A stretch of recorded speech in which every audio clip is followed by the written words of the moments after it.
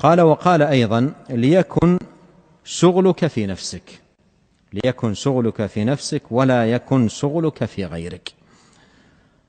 أي اشتغل بعيوب نفسك وتفقد أخطاءك وتأمل في معاصيك تأمل في تفريطك في جنب الله ولا يكن شغلك في الآخرين. و وكم من إنسان قد شغل نفسه بآخرين وربما كانوا عند الله خيرا منه. ربما كانوا عند الله سبحانه وتعالى خيرا منه. فالذي ينبغي الإنسان أن يشغل نفسه بعيوب نفسه عن عيوب آه، الآخرين. ولهذا بعض الناس قد يكون حتى مفرط في بعض الواجبات وبعض فرائض الدين. وتجده مثلا ينال من الآخرين طعنا وهمزا ولمزا وغير ذلك. وهو وهو مفرط في آه، آه، في واجبات وفي فرائض. ولهذا ينقل عن أحد السلف أنه قيل له ما نراك تتكلم في أحد. قال لست راض عن نفسي. قال لست راض عن نفسي. أي شغله آه، شغله شغله أمر نفسه وشأن نفسه وتفقد حاله عن غيره. فمن كان شغله في غيره فقد مكر به. فمن كان شغله في غيره فقد مكر به. وعلى كل حال كل ذلكم نهي عن الكلام فيما هو إثم من غيبة أو نميمة أو سخرية أو استهزاء أو نحو ذلك ولا يدخل في ذلك ما كان من الكلام آه، نصحا لدين الله تبارك وتعالى ممن هو أهل للنصيحة امرا بالمعروف أو نهيا عن منكر أو تحذيرا من باطل أو نحو ذلك.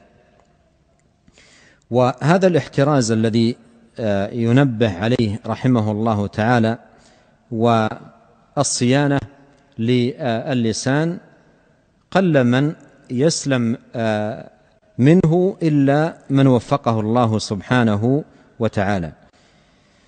ولابن القيم رحمه الله كلام قريب من كلامه الذي سبق يقول فيه ومن العجب أن الإنسان يهون عليه التحفظ والإحتراز من أكل الحرام والظلم والزنا والسرقة وشرب الخمر ومن النظر المحرم وغير ذلك ويصعب عليه التحفظ من حركة لسانه.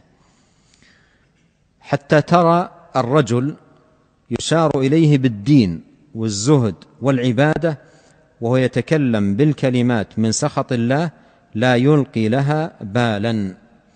ينزل بالكلمة الواحدة منها أبعد مما بين المشرق والمغرب. وكم ترى من رجل متورع عن الفواحش والظلم ولسانه يفري في أعراض الأحياء والأموات ولا يبالي ما يقول. وإذا أردت أن تعرف ذلك فانظر فيما رواه مسلم في صحيحه من حديث جندب بن عبد الله قال قال رسول الله صلى الله عليه وسلم قال رجل والله لا يغفر الله لفلان. هذا كلام كثير أو كلمة واحدة.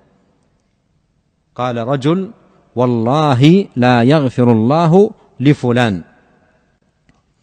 كلمة واحدة ليس كلاما كثيرا ولا أيام ولا شهور وهو يتكلم في وإنما كلمة واحدة. والله لا يغفر الله لفلان.